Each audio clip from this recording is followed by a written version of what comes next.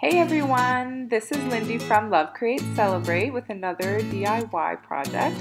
This time I'm joining the DIY Mommy to share a spring project and I chose these super cute abstract painted pillows to make. For this project, all you need is a few paint colors and some paintbrushes, as well as some plain pillowcases. And I'll share some links in the description as to where I got those.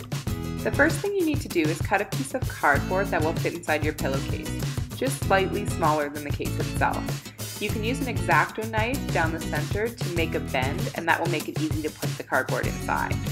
This will prevent any of your paints from bleeding through to the other side of the pillow. And now it's the fun part! Yay! You really can have full creative freedom here and do whatever you want with this piece.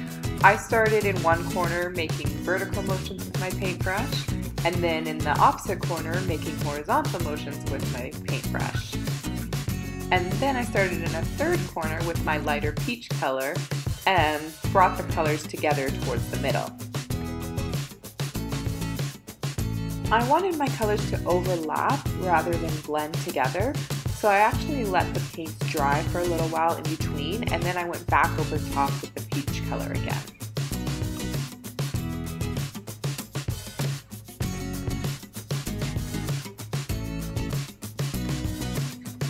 And you can't just have one beautiful spring pillow, so obviously I had to make a second. The painting process for this pillow was very similar to the last one, except I also wanted to have some longer, more narrow streaks, so I turned the paintbrush on its side and did the same vertical motions.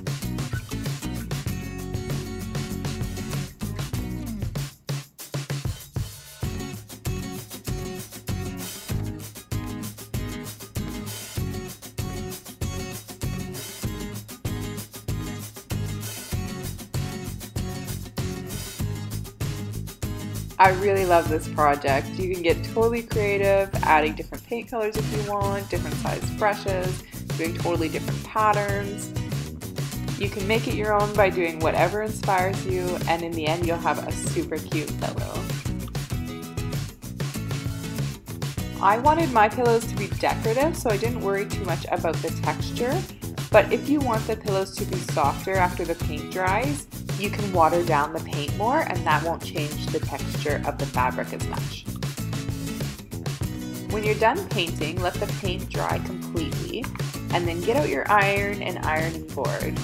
Put your iron on the no steam setting and press it on different parts of the fabric for 10 seconds at a time. That will heat set the paint and protect it when you put it in the washer dryer. So what do you guys think of my new spring decor? I'd love to hear your thoughts in the comments below. Don't forget to check out the description box for a link to the playlist that has a whole bunch of great DIY spring projects.